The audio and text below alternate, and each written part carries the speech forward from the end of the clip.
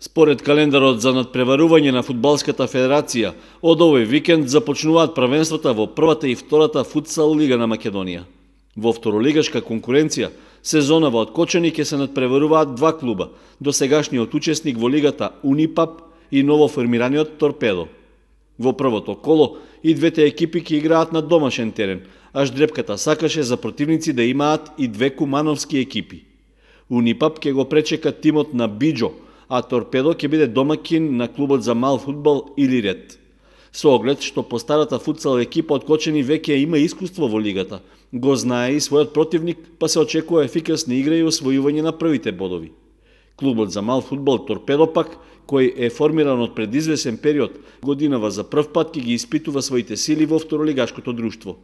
Според тренерот Крсте Крстев, во екипата настапуваат млади фудбалери од Кочени и околните населени места – а амбициите се во следните две-три првенства да го одржуваат статусот во втората футсал лига, па дури потоа да се обидат да направат пробив за пласман во повисок ранг. Инаку, на стартот на првенството тие добиваат релативно посилен противник, со оглед што или од Куманово минатата сезона беше прволигаш. Двата надпревари ќе се играат во салата на основното училиште Никола Карев, закажани се за сабота со почеток од 17:30, односно од 19 часот и 30 минути.